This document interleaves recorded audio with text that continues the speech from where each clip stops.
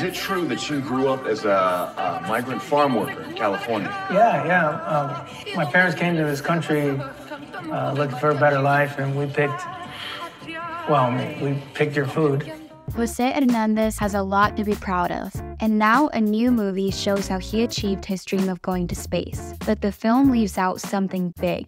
This part's not even covered in the movie, which I think it's the most important part of my professional career. Before Jose became a NASA astronaut, he worked at Lawrence Livermore National Lab, where he co invented the first full field digital mammography system to detect breast cancer. We were capturing the images digitally, no more film, and the images were clearer, which means earlier detection. Earlier detection means we're saving lives. So we've probably saved hundreds of thousands of lives since the advent of digital mammography, and I'm very proud of that.